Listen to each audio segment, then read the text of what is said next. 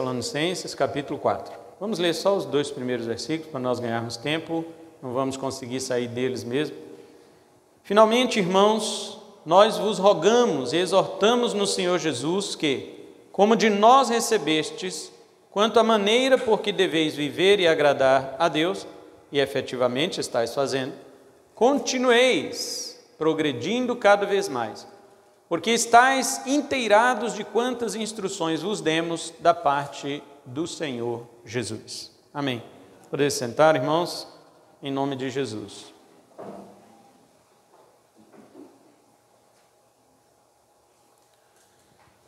Começando agora o capítulo 4, estamos caminhando para o final da carta. Ainda há uma porção substancial para o apóstolo Paulo escrever, como os irmãos podem observar.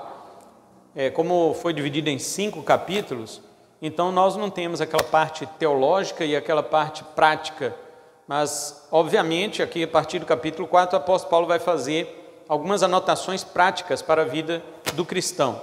E como ele é, é usa essa palavra finalmente, nós entendemos que ele é, tem a intenção de finalizar a sua carta. Como eu disse, embora ele ainda tenha bastante coisas para falar. Inclusive, uma, uma de suas falas teológicas vai explicar como nós devemos crer na escatologia. A escatologia é a doutrina das últimas coisas. Nós sabemos que as últimas coisas acontecerão muitas coisas né? Nas últimos, nos últimos dias, nas últimas coisas. Acontecerão eventos inúmeros. Mas vamos relatar entre eles aqui os que ainda não aconteceram. E Paulo não vai falar de todos eles. Paulo vai falar um pouco da ressurreição, um pouco da segunda vinda de Cristo somente e do corpo de glória. Paulo vai falar disto. Em outros lugares ele fala de, outras coisas, né? Acerca dos últimos dias, da vinda do Senhor mas nós sabemos que as coisas que vão acontecer na vinda do Senhor, elas são é, a vinda de Cristo visível e poderosa, o arrebatamento da igreja, a destruição do anticristo, antes disso a grande tribulação, né, que ainda não chegou, a grande tribulação, depois a vinda de Jesus, na vinda de Jesus a ressurreição dos mortos, na ressurreição dos mortos a glorificação dos corpos dos crentes santos, dos crentes que morreram e dos que estão vivos também, o arrebatamento da igreja, e a instalação do juízo final, que é a destruição do anticristo, do diabo e dos seus anjos. E depois do juízo final, nós teremos aí a aplicação dos novos céus e da nova terra.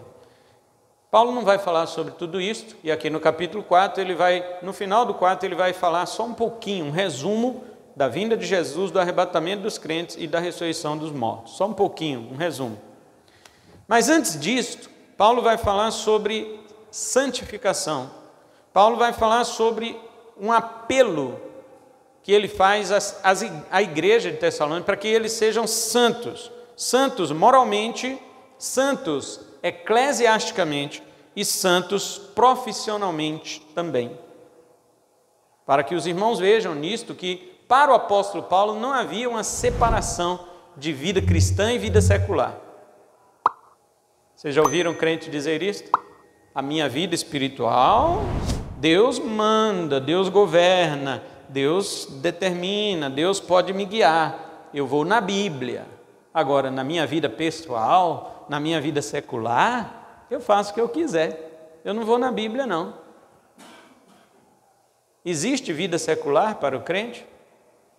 Não. Toda a vida do crente é para a glória de Deus. Mesmo que o seu trabalho não tenha nada a ver com a igreja, o seu trabalho para você tem que ser para a glória de Deus. Mesmo que na sua escola não tenha nada a ver com a igreja, antes eles ensinem lá é, ateísmo, evolucionismo, essas bobagens que a gente tem que estudar para passar de ano, mas na realidade é, é pura mentira, idiotice, são teorias. Você fica estudando aquilo lá, mas para você, a sua escola, é para a glória de Deus. As suas amizades, muitos não são crentes, mas você tem que manter suas amizades de forma que Deus seja glorificado nelas. Crente não tem vida secular. Tudo na vida do crente é para a glória de Deus.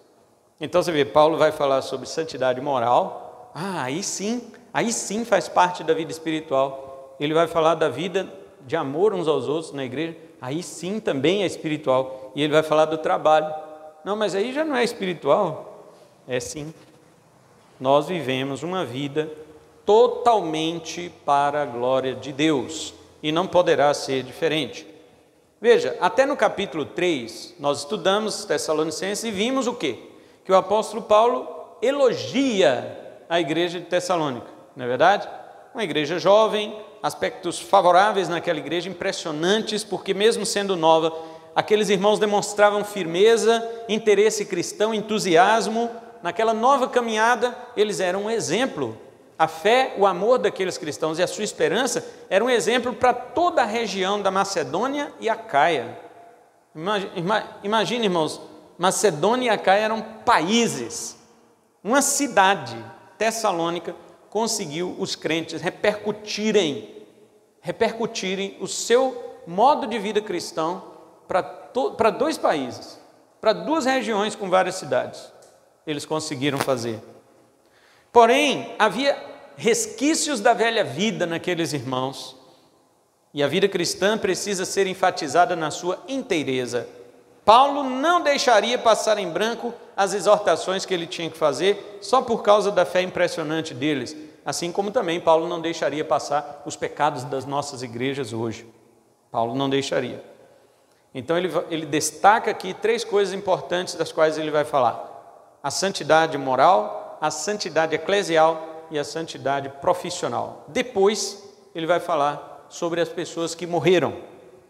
Vamos deixar isso para quando chegarmos lá. Então, os versículos 1 e 2 são introdutórios, são lembranças gerais. E a partir do versículo 3, nós teremos então os detalhes, os mandamentos específicos que o apóstolo Paulo vai fazer àquela igreja.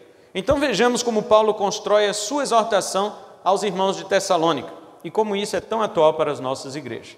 Primeiro vamos ver, é, e, e só vamos ficar nisto aqui hoje, nos versículos 1 e 2, que toda igreja, para ser santa, ela deve seguir o ensinamento ou os ordenamentos dos apóstolos.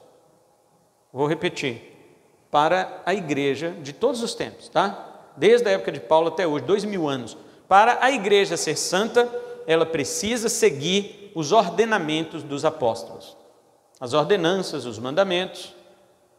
Aquilo que os apóstolos escreveram se tornam obrigação para todas as igrejas de todos os tempos, em todos os lugares.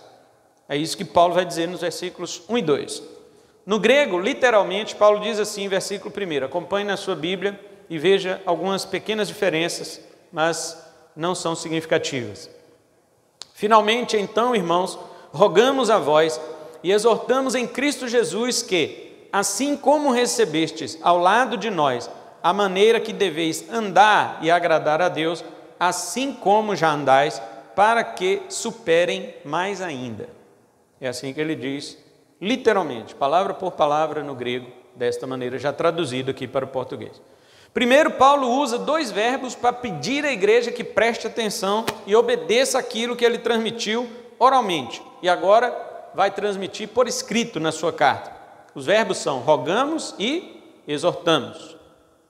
Quando você estuda a palavra de Deus e vai ouvir uma pregação expositiva, como nós vimos fazendo, você tem que prestar atenção em cada palavra. Nós já falamos sobre o finalmente, né? nós vamos falar sobre irmãos, Cada palavra tem um significado para nós. Mas primeiro quero destacar os dois verbos que o apóstolo Paulo está usando e por que, que ele coloca estes dois verbos: rogamos e exortamos. Quando Paulo usa dois verbos, é um reforço de ideia para indicar que ele quer que a igreja realmente leve a sério aquilo que ele está para escrever. Não somente a igreja deveria levar a sério o que ele escreve aqui, mas também o que ele já havia falado por, por exemplo, veja no versículo 2 que ele diz: é, Porque estáis inteirados de quantas instruções vos demos da parte do Senhor. Esse demos está no passado. Então, Paulo já havia dado instrução para os Tessalonicenses antes de escrever essa carta. Esta carta é um complemento para o ensino que ele havia dado enquanto esteve lá. Mas, como os irmãos sabem, ele esteve por pouco tempo em Tessalônica, devido à perseguição, ele teve que ir embora. Manda Timóteo lá para saber o estado da igreja. E quando Timóteo vem trazendo boas notícias, ele escreve esta carta. Paulo estava em Corinto quando escreveu esta carta, esta primeira carta. E quando Paulo escreve os três primeiros capítulos, é para defender seu apostolado, elogiar a igreja, orar por ela e agradecer a Deus. Mas a partir do capítulo 4, ele tem que chamar a atenção da igreja. A partir do capítulo 4, ele tem que exortar. Por isso, ele usa dois verbos, para que a igreja preste atenção ao que ele vai falar, ou ao que ele havia falado enquanto estava lá, e agora ao que ele escreve aqui. A igreja precisa levar a sério a palavra de um apóstolo. Primeiro, ele fala rogamos. A palavra grega rogamos é erotal. Ela, ela indica pedido sério, especialmente porque aquele a quem se pede está em uma posição preferida especial. Por exemplo, quando eu peço uma coisa a um amigo meu, a quem eu não tenho costume de pedir. Então, este amigo meu se sente em uma posição de dívida comigo. Ele diz assim: Meu amigo Cleilson nunca me pediu nada, mas agora ele está me pedindo, ele está rogando, eu vou ter que fazer. Ele tem uma posição privilegiada de amigo meu. E foi este o verbo que Paulo usou com os Tessalonicenses. Como se ele dissesse: Eu nunca pedi nada a vocês, e vocês são meus filhos. Embora ele vá chamar aqui de irmãos. Eu vou explicar por que, que ele fala irmãos. Mas ele usa este verbo, rogamos. Por que, que ele usa no plural? Não é só um plural de humildade, porque Paulo bem podia fazer isto, mas porque quem estava escrevendo a carta junto com ele era Silas e Timóteo. Nós vos rogamos. O segundo verbo que ele usa é paracaléu. O verbo grego paracaléu significa encorajar, mas também significa convocar, chamar como um advogado chama o seu cliente para defendê-lo. Perceba que Paulo não está dando nenhuma chance para a igreja rejeitar o seu pedido aqui. É uma ordem apostólica. Mas Paulo adorna a sua, é, a, a, o seu chamado da igreja, ele adorna com classe com afeição. Como ele havia dito no capítulo 2, versículo 7, olha o que ele disse: Embora pudéssemos, como enviados de Cristo, enviados é apóstolo, tá?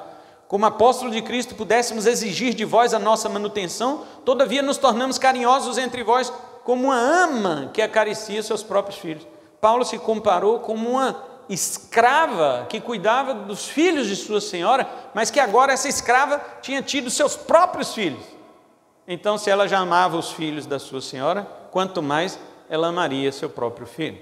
Paulo diz assim: ele não diz, eu amo vocês como uma senhora ama seus filhos, que ela deixa uma escrava cuidar. Não, ele diz, eu amo vocês como uma escrava que já amava os filhos de sua senhora, agora ela tem seus próprios filhos.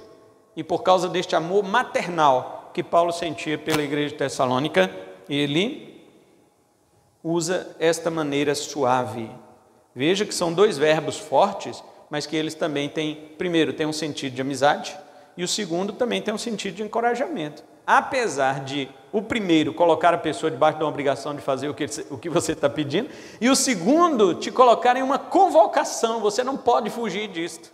Paulo colocou desta forma para a igreja de Tessalônica. Agora, para que a igreja não ficasse intimidada, Paulo escreve irmãos, adelfos, plural adelphoi no grego, que significa isto: pessoas da mesma, do mesmo pai e da mesma mãe. Paulo está mostrando carinho e humildade. Ele não se coloca como apóstolo, embora ele seja, mas ele se coloca como irmãos daqueles que precisam da sua correção e da sua instrução.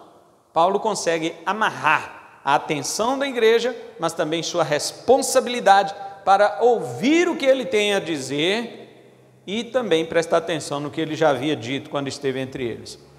Essa maneira de Paulo falar aqui, só no início do versículo 1, nos ensina algumas coisas, principalmente para nós, pastores e presbíteros. Né? Presbítero Lorival está ali, presbítero Eslen está aqui. Né? Sinto falta ainda de dois presbíteros aqui nessa igreja hoje. Estou aqui como pastor da igreja, temos pastor Eliezer, presbítero Alex, presbítero Euclides. Paulo está dizendo para nós que não devemos impor à igreja aquilo que faz parte da vida cristã. Nós devemos sim convocar, nós devemos sim encorajar, mas nós não podemos impor, uma vez que não podemos conhecer o coração de quem é realmente convertido. Quando eu era um pastor mais novo, eu era muito exigente. Eu era muito exigente. E os irmãos que estão comigo aqui pelos séculos dos séculos lembram disso, né? Os irmãos que estão aqui lembram disto, que o pastor Cleilson, ele veio para cá, agora essa igreja vai encher de jovem, porque ele é jovem. Não encheu não, porque era chato. É, eu sou chato ainda, mas eu era pior. Porque eu queria exigir, queria que as pessoas fossem fiéis a Deus, que fossem isto e aquilo. Não dá, irmãos. O reino de Deus tem que ser feito voluntariamente. As pessoas precisam sentir-se impulsionadas pelo Espírito de Deus e não por homens que ficam ali com ferrão, com aguilhão para você é, não sair do caminho. Claro que nós temos que também, de vez em quando, dar uma cutucada, porque tem muita gente que também sai do caminho. E ovelha, você sabe como é que é. Quando uma sai do caminho, dez vai atrás. Então, para que não saia, tem que haver de vez em quando alguma palavra de repreensão, uma palavra de despertamento mas nós não podemos impor nada para a igreja do Senhor. A nossa expressão deve ser de carinho, a nossa expressão deve ser de amor, irmãos, mas nunca de silêncio também. Eu nunca vou deixar de falar. Eu mudo meu jeito de falar, mas vou continuar falando. Eu era chato demais, sou menos chato. Vou ficar mais, porque vou ficar mais velho, então, né? Vai ficar mais chato. Mas eu vou mudando meu jeito de falar mas nunca vou deixar de falar. Isto Paulo nos ensina. Agora perceba, continuando o versículo 1, ele diz o seguinte: Nós vos rogamos e exortamos no Senhor Jesus. Este apelo que Paulo faz é feito no Senhor Jesus. Aqui não existe um apelo mais sublime que alguém possa fazer. Recorrer a Jesus como aquele em quem está aquele que apela. Paulo usa a preposição em, ou seja, eu estou dentro de Jesus. Em, no grego, significa dentro de. Eu rogo a vocês, eu exorto a vocês dentro de Jesus. Dentro de Jesus.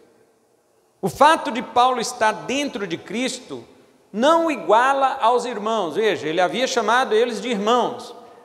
Mas quando ele diz eu estou em Cristo, chamando vocês para isto, ele não se iguala mais aos irmãos. Por quê? Porque, embora todos os irmãos estejam em Cristo, nem todos eram apóstolos. Somente Paulo era apóstolo. Então ele está agora mostrando que ele tem autoridade apostólica para dizer e para chamar a igreja para o que ele quer.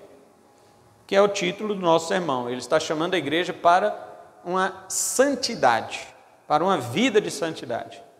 E ele vai, ele tem que usar sua autoridade apostólica. Primeiro ele usa o carinho, ele usa verbos que têm significados macios e tal, mas com duplo significado. Chama eles de irmãos, mas agora ele diz assim: Eu estou no Senhor, eu estou fazendo isso em Jesus, eu não estou fazendo isso de mim mesmo.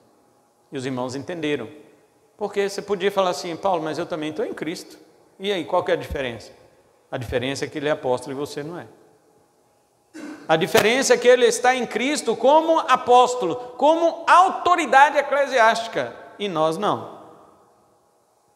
Então hoje quero dizer aí para duas classes né, de crentes que existem em nossos dias. Primeiro, primeiro os crentes que não gostam de pastor, né? gostar da pessoa do pastor, não gosta de que exista pastor. Eles são anarquistas, são crentes que odeiam autoridade, odeiam liderança. Então eles dizem assim: não existe pastor, o sacerdócio do crente é universal. É verdade que o sacerdote do crente, o sacerdócio do crente é universal. Apóstolo Pedro fala isso, 1 Pedro capítulo 2, versículo 9. Todos os crentes são sacerdotes do Senhor.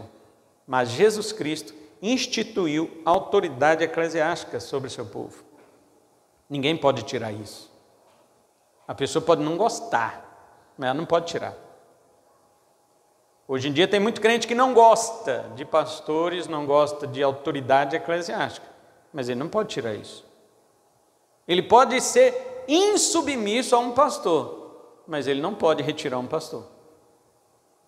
Porque quem deu foi Jesus. Efésios 4:11 diz o quê? Ele mesmo, ele quem? Cristo. Concedeu uns para apóstolos, que foi os doze, profetas, outros para evangelistas, outros para quê? Pastores e mestres. Pastores e mestres. Foi ele que concedeu. Você não pode tirar alguém que Deus concedeu como pastor para a igreja dele. Você pode não gostar, você pode não obedecer, mas isso aí é você com Deus. Mas você não pode tirar. Então está dado recado para quem não gosta de pastor. Estou falando da pessoa, não, né? Porque tem pastor que não dá para gostar mesmo. Mas estou falando da autoridade. Da autoridade. Nós não podemos tirar. Segundo, eu quero dar um recado agora para os pastores que se colocam como apóstolos hoje.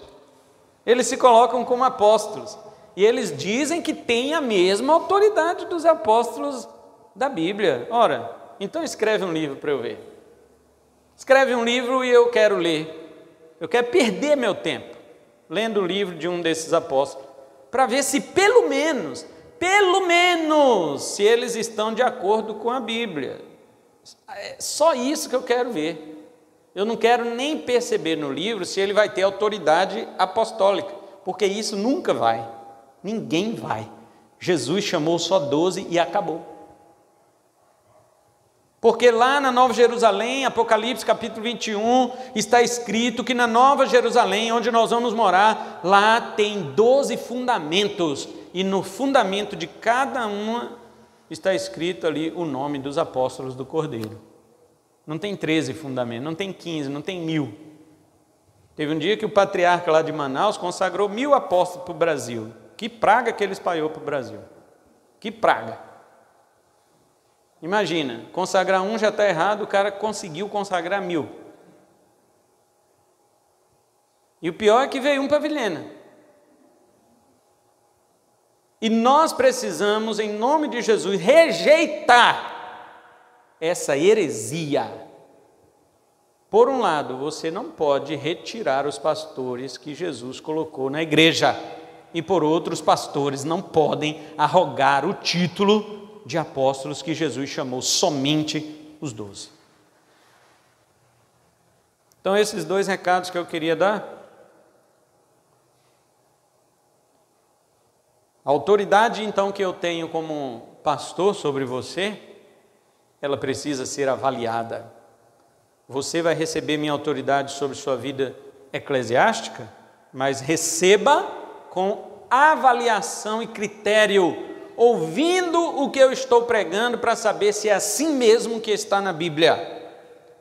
A autoridade eclesiástica foi dada por Jesus Cristo e, com base nisto, eu posso exercer sobre vocês o que os apóstolos deixaram escrito na Bíblia. Posso sim, porém, sempre com base no que os apóstolos deixaram escrito. Eu não posso inventar doutrina, eu não posso proibir você de uma coisa que a Bíblia não proíbe. E eu não posso ordenar a você uma coisa que a Bíblia não ordena. A minha autoridade existe, porém ela é o quê? Ela é delegada, é derivada da autoridade que existe dentro daquilo que os apóstolos do Senhor escreveram. Então, ninguém mais pode falar com autoridade própria a não ser os apóstolos e eles já morreram. Então devemos obedecer aos nossos pastores mas somente quando eles estão com base na palavra de Deus. Fora disso, nós não podemos dizer que estamos rogando no Senhor. Irmãos, estou rogando no Senhor. Por favor, irmãos, me dê uma Hilux zero. Eu estou rogando no Senhor, pedindo no Senhor. E tem irmãos que por gostar de mim vai lá sacrificar. Não, não, queridos, não faça isso por ninguém os falsos apóstolos, porque embora não existe mais apóstolo, existe falsos apóstolos. Os falsos apóstolos estão ensinando o seguinte: quando você acordar, a primeira coisa que você tem que pensar é no seu apóstolo. Quando você acordar, a primeira coisa que tem que pensar é no seu apóstolo e na sua apostila, ou melhor, na esposa dele, na apóstolo. Eu achava que era apostila, feminino de apóstolo. E você tem que, quando for numa loja, que você for comprar um sapato, não pense em você primeiro, pense no seu apóstolo. Compre o melhor. Compre o melhor e traga para o seu apóstolo. É desse jeito que eles estão, queridos.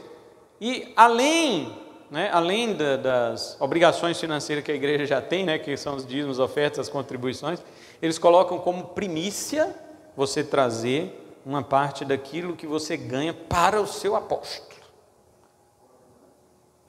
É, o corban. Ainda usa um termo hebraico que Jesus condenou na vida dos fariseus. Eles trazem de volta para si. E um dia um apóstolo foi é, é, visitar o maioral dele, que é o patriarca agora, né? Que consagrou a mãe dele a mãe do útero sagrado, porque gerou ele. Está igual o Joãozinho, né? Pai, quando eu crescer, eu quero ser igual ao senhor. É mesmo, meu filho, por quê? Para ter um filho igual eu. Né? Então esse aí já consagrou a mãe dele o útero sagrado, porque gerou um filho que nem ele, olha só. Então, quando esse apóstolo foi lá, aí um irmão da igreja falou assim: Apóstolo, eu posso ir com o senhor? Ele, você tem 50 mil para dar de oferta? Isso há oito anos, dez anos atrás. Você tem 50 mil para dar de oferta? Aí o irmão murchou todinho e ficou por aí mesmo. Só ele que foi. Os Tessalonicenses haviam recebido de Paulo, antes da escrita, aquilo que Paulo transmitiu oralmente. Paulo diz que foi ao lado de, isto é, quando esteve ao lado deles pregando a palavra. O conteúdo desta palavra que Paulo pregava a eles era a maneira por que deveis viver e agradar a Deus. Olha aí, volta o verso primeiro que diz: Eu rogo no Senhor Jesus que, como de nós recebestes, vocês estão vendo aí? Como de nós recebestes, quando esteve lá, quando Paulo esteve em Tessalônica. Agora diz: quanto à maneira por que deveis viver e agradar a Deus. Vejamos esta frase. O que é isto que Paulo está dizendo? A maneira de viver e agradar a Deus. No original, a palavra viver, Paulo coloca andar. A maneira por que deveis andar e agradar a Deus. Isso mostra que a vida cristã é uma jornada, é uma caminhada que exige de nós uma maneira. Preste atenção nisso, queridos. Existe uma maneira de caminhar, existe uma forma, um jeito, um modo de trilhar o caminho cristão. Não é do nosso jeito. O mal da sociedade dos nossos dias é pensar que sabe o que é bom para si mesmo. E a igreja tem bebido dessa fonte suja de egoísmo e orgulho. As pessoas dizem que cada um adora Deus, por exemplo, do jeito que ela quer. E o pior, elas afirmam que Deus recebe esse tipo de adoração de todo mundo. Isso não é novo. Eu eh, presenciei um acampamento em que as pessoas do louvor disseram isto. Eles disseram: todo mundo adora Deus do seu jeito, irmãos, e Deus recebe. E naquela época eu não pude concordar com isto, embora eu não sabia das dos argumentos bíblicos que você pode usar para destruir isto. Não pode, gente. Cada um adora Deus do jeito que quer. E Deus vai aceitar isto? De forma nenhuma. Deus estabeleceu a maneira que Ele quer ser adorado, porque afinal quem é Deus é Ele. E nós temos apenas que estudar a maneira que Deus quer ser adorado e fazer do jeito que Ele falou que quer ser adorado e não estabelecer minha maneira de andar, minha maneira de viver e minha maneira de agradar a Deus. Outras querem justificar sua conduta errada apontando para o erro do outro. Os erros dos outros trouxeram para nós aquela falsa sensação de que podemos viver em nossos próprios erros. Ah, mas fulano faz, então fulano fez isso, fulano é, ele é até pastor, ele fez, imagina eu que não sou. Ou seja, está tem licença agora para fazer pior?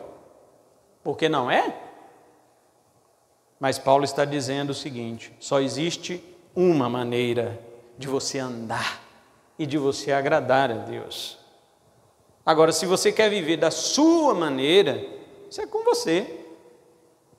Você só não pode dizer que é crente. Agora, se você disser assim, eu sou crente, só existe uma maneira de você viver. E não é a que você quer. Não é.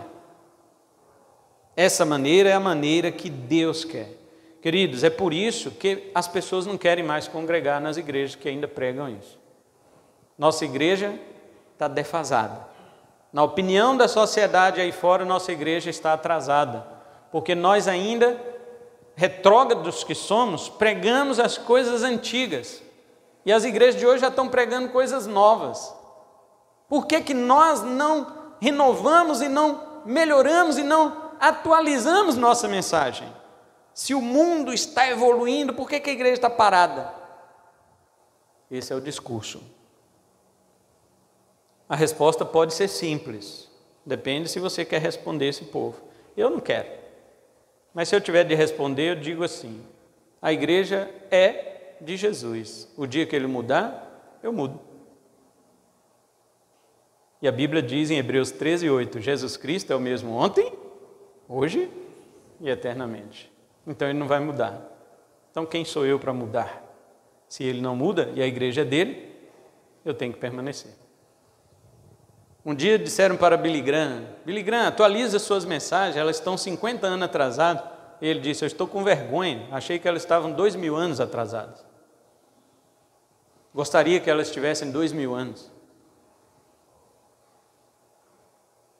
Porque foi na cruz que surgiu a mensagem do Evangelho.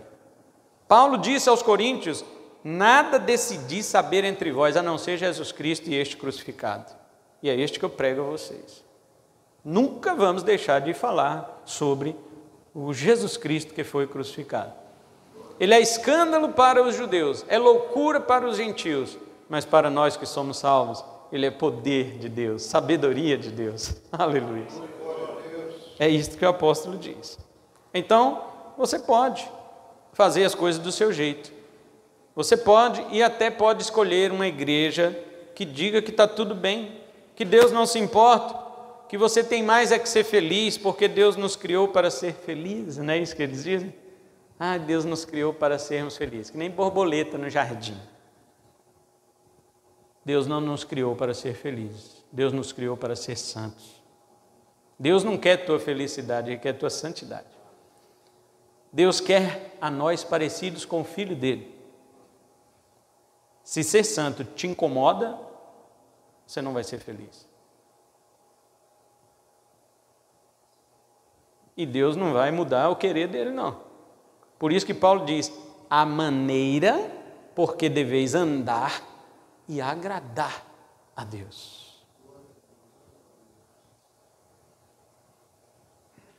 Mas voltemos a este ponto. Deus quer que eu seja feliz?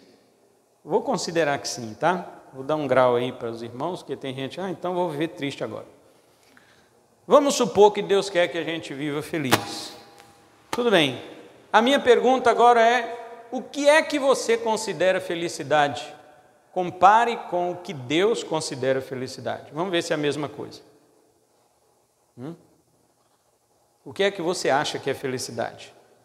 Agora compare o que você acha com o que Deus acha que é felicidade e veja se é a mesma coisa. Agora adivinha qual que prevalece?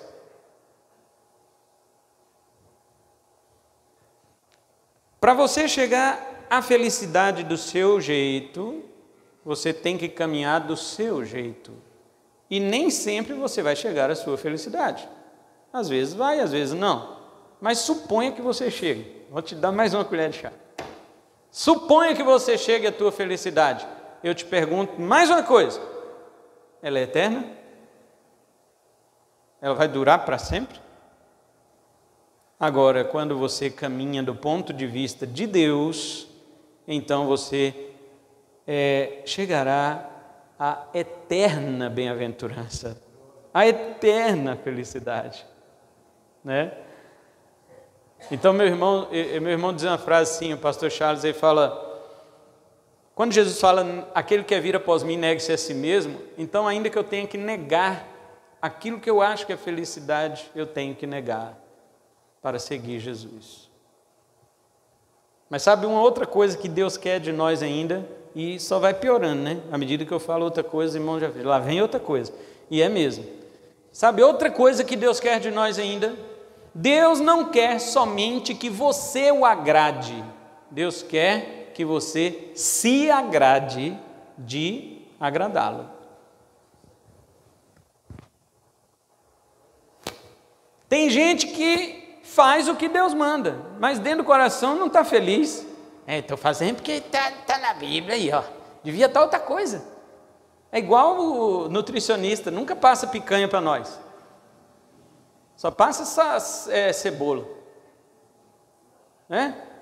Aí a gente vem da mesma forma e olha assim para a Bíblia. Nossa, Deus, hein, hein? não pode, não sei o quê. Aí, ah, Deus quer isso aqui, tá bom, vou viver isso. Aí vive aquilo, mas com o coração cheio de amargura. Eu pergunto, irmão, ele está agradando a Deus? Não está. Para você agradar a Deus, você tem que se agradar de Deus. Está vendo a diferença? Agradar a Deus é fazer o que Ele quer, mas se agradar de Deus é gostar do que Deus gosta, é amar o que Deus ama e odiar o que Deus odeia. Veja o que diz o salmo que todo mundo interpreta errado. Né? Agrada-te do Senhor e Ele fará o que deseja teu coração. Salmo 37, 4, né? Agrada-te do Senhor e Ele satisfará o desejo do teu coração. Aí tem gente que pensa assim: olha, se eu agradar ao Senhor, Ele vai fazer o que deseja no meu coração. Não é isso que o Salmo está dizendo. O Salmo não está dizendo agrade ao Senhor, ele está dizendo agrada-te do Senhor. Uma outra versão diz assim: deleita-te no Senhor. Outra versão diz assim: tenha prazer no Senhor e Ele fará o que deseja o teu coração. Sabe quando é que Deus vai fazer o que está no seu coração? quando o seu coração estiver nele.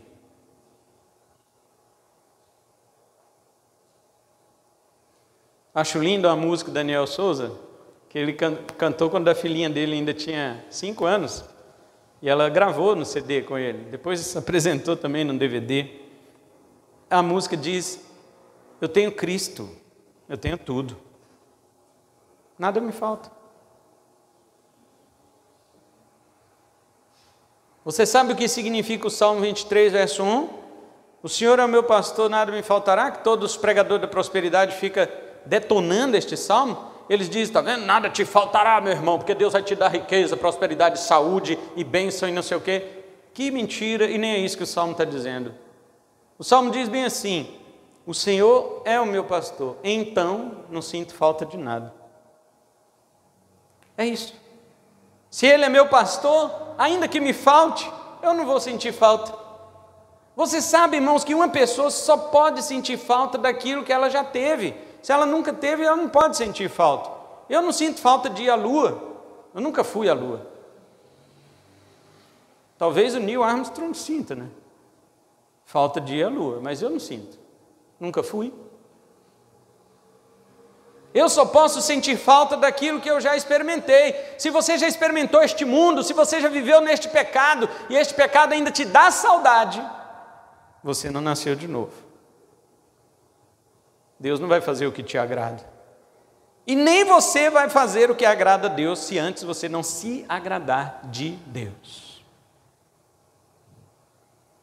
Então, aqui se encerram todas as nossas tentativas Aqui cai por terra tudo aquilo que nós pretendemos fazer.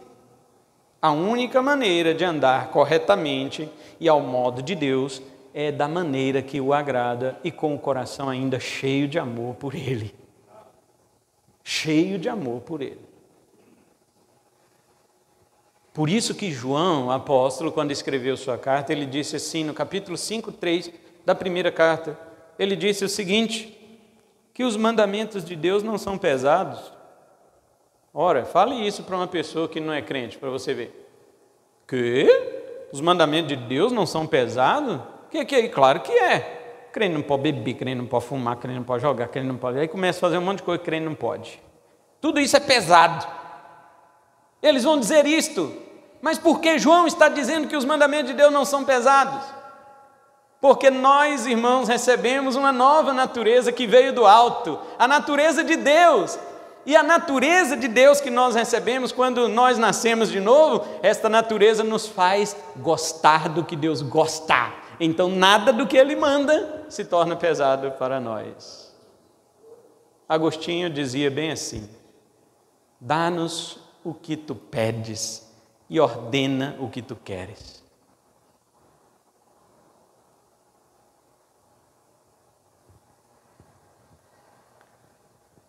Então, Paulo, finalizando aqui, né, para o versículo 2, Paulo afirma o seguinte: vocês já andam nisto.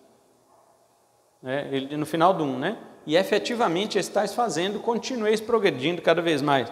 Paulo afirma que os crentes já estavam andando à maneira de Deus, mas ele queria mais. Ele queria mais. Então, deixa eu observar algumas coisas aqui com você. Se eles já andavam da maneira que agradava a Deus, por que, que Paulo vai adverti-lo dos seus pecados? Os Tessalonicenses, Paulo não disse aqui, final do 1, ó, efetivamente estáis fazendo. Paulo disse, vocês estão fazendo já o que agrada a Deus. Mas por que, que ele vai exortar essa igreja? Primeiro, isso nos mostra que mesmo o crente verdadeiro que anda segundo o que agrada a Deus ainda peca. Você pode amar a Deus, mas sua carne ainda ama o pecado. Com a sua nova natureza, você pode amar a Deus e deve amar a Deus, porque isso é próprio da nova natureza, mas com a velha natureza nós ainda amamos o pecado.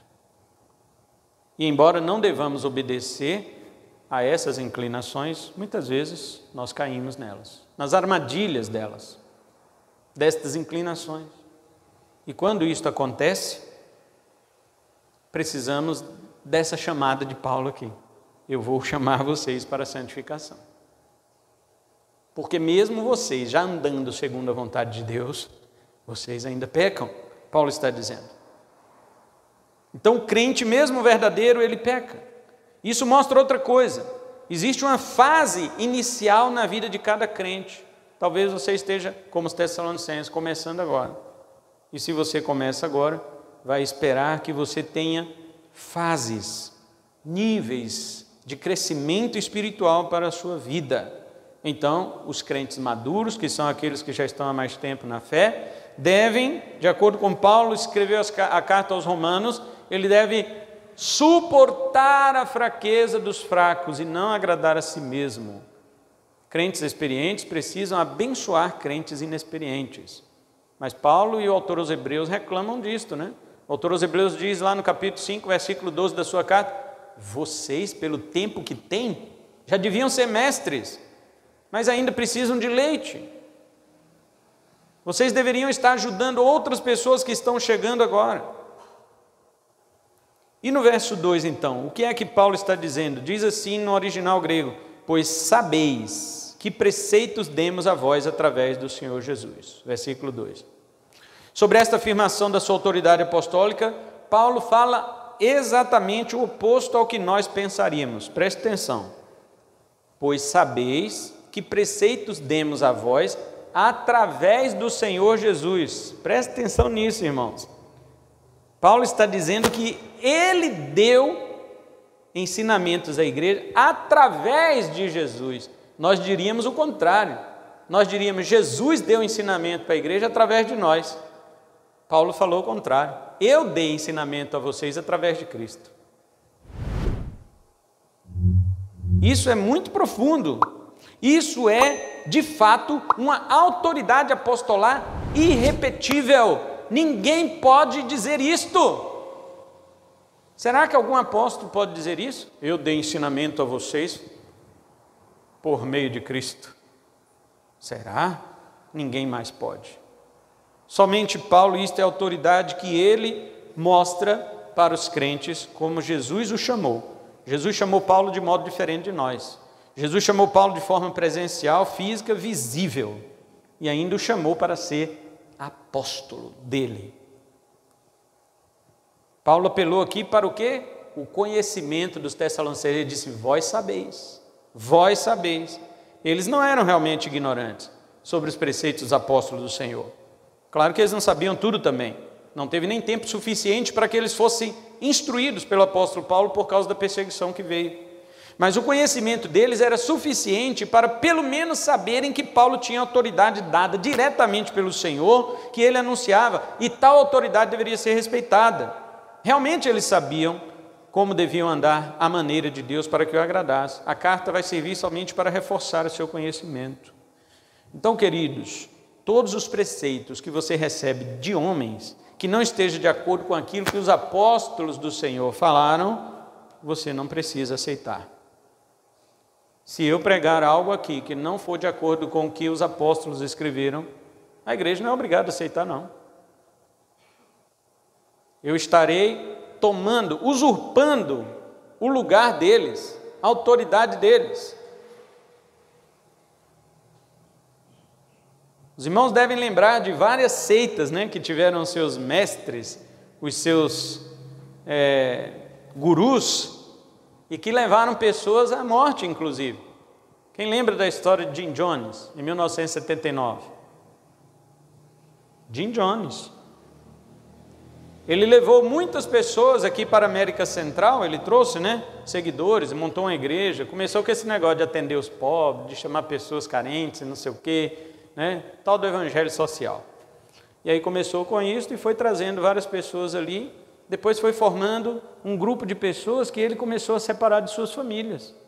E ali ele criou uma fazenda, comprou terras, né? todo mundo ia trabalhar naquelas fazendas, morar ali, morar na igreja. Já pensou? A igreja tem uma fazenda e você vai morar na igreja. E vai trabalhar para a igreja, mas você não ganha salário nem nada, você só vai comer o que você plantar. E aí ele começou a dominar essas pessoas dessa forma e se colocava como Messias, como Salvador dessas pessoas. Eu não vou contar a história toda, né? O nosso tempo já acabou. Depois você pesquisa lá na internet ou assiste um vídeo, um documentário sobre ele, Jim Jones. E quando a polícia estava atrás dele, né, por causa das suas falcatruas, do seu, do seu tráfico de drogas, de armas também, olha onde ele chegou. Igreja com armas, tráfico de armas. E aí, quando a polícia foi atrás dele, ele convenceu todos os irmãos que estavam ali presentes, tinha mais de mil pessoas. Ele convenceu todo mundo a tomar um, um vinho que ele preparou num caldeirão lá com veneno.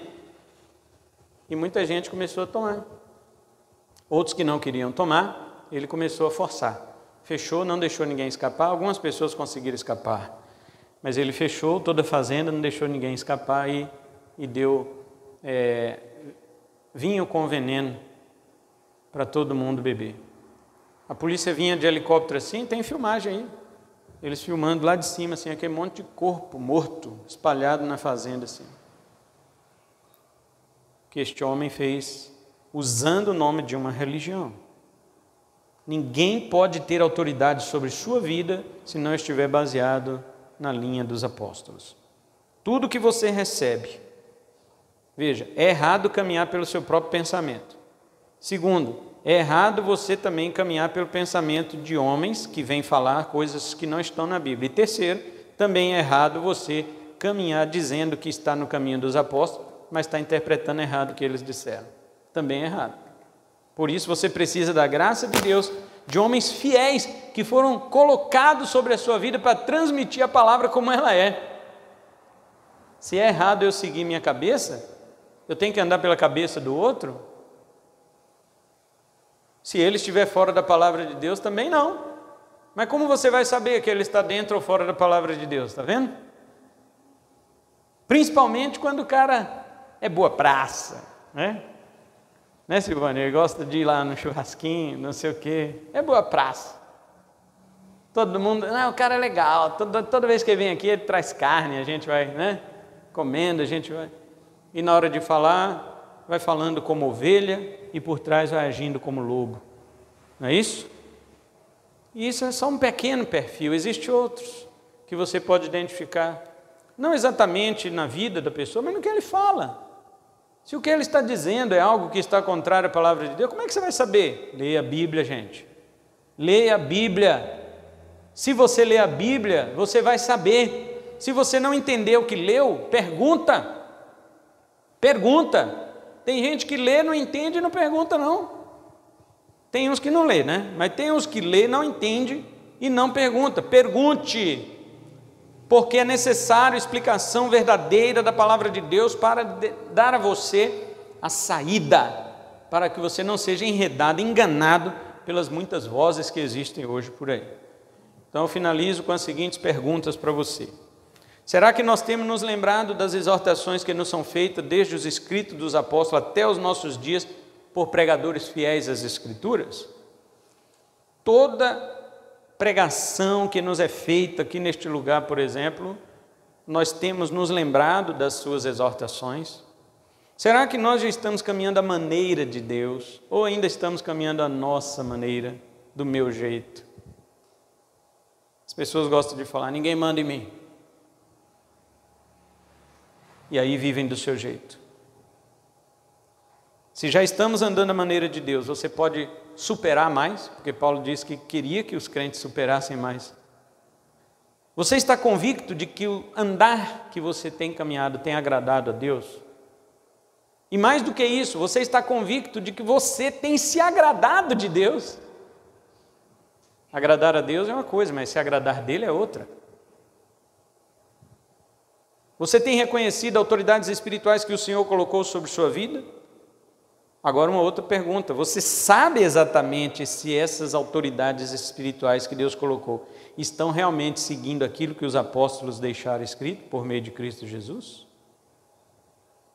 Você tem certeza que o seu pastor prega a verdade? Você tem certeza? Você já testou o que eu prego? Falso profeta, tá ele não fala disso, não. Falso profeta, ele não deixa você nem ler a Bíblia. Os homens de Deus, eles não estão livres de erro, não. Eu posso errar, eu posso entender um texto errado da Bíblia, sim. Leia a Bíblia. E se você identificar erro na minha pregação, você tem liberdade para me procurar e dizer para mim: Pastor, você disse isso e a Bíblia diz aquilo. Você disse X, a Bíblia diz Y sobre este assunto. E nós vamos sentar, abrir a Bíblia e nós vamos aprender. E estando errado, eu volto aqui e peço perdão. Irmão, estava errado aquilo lá que eu falei. O irmão Fulano me chamou a atenção e graças a Deus eu peço perdão à igreja e o certo é esse, esse, esse. Não é aquilo lá não. Tira até do YouTube se estiver lá. Os falsos profetas não querem que você pesquise nada na Bíblia. Eles querem que você siga eles à risca daquilo que eles falam. E se você for, peraí, onde é que está na Bíblia? Está duvidando do homem de Deus? Está duvidando do homem de Deus? Hã? Que é isso agora? Agora está querendo o quê? Me testar? Eles ficam bravos. Por quê? Porque são lobos. Eles não sabem berrar, sabem latir e uivar. Eles não sabem fazer balido. Quem faz balido é a ovelha. O lobo uiva.